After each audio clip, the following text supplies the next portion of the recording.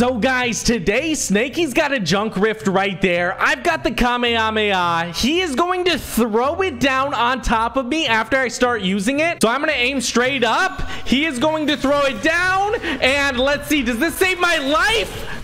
Nope it still does damage to me, guys. Now we are going to switch positions right here. He is going to start using it, and then I am going to throw the junk rift now. And let's see. Here we go.